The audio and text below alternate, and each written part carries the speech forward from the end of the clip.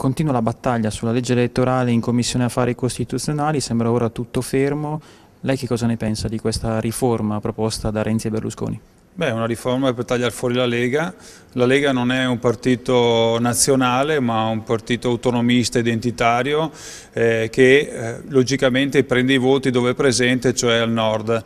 Quindi o viene inserita una soglia territoriale, se no questa è una, una legge, come ha ripetuto il nostro segretario, di stampo fascista che vuole tagliare fuori dal Parlamento eh, un movimento che ha rappresentanze eh, sopra il 30% anche in alcune zone del nostro territorio. Quindi o si trova una soluzione, se no la Lega, eh, come sta facendo da sempre, farà una dura battaglia in aula.